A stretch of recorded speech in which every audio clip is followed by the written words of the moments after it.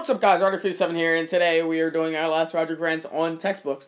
Textbooks are a pain in the ass because uh, you got to carry them all over the place. They weigh a lot, and like they're just a pain to carry. Like especially for book bags, they don't really make book bags as big as you need them to.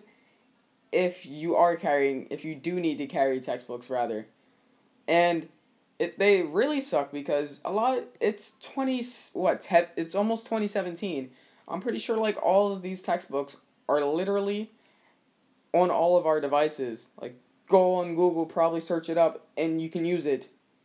It makes no sense. Why do the schools have us carrying around textbooks? I mean, granted, in my case, I'm only carrying around a history textbook, but I don't even use it. I don't even carry it because I leave it at the house. And the teacher even said that you don't have to bring it every day because we have textbooks in class. So he basically gave us a textbook for no reason, but still, it sits on my desk at my house.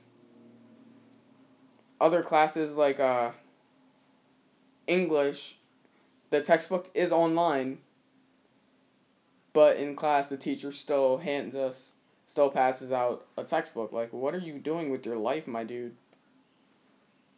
But yeah, basically, this episode is done, over with, squashed I'm going to edit this for a little bit, upload it, and then you guys shall see it.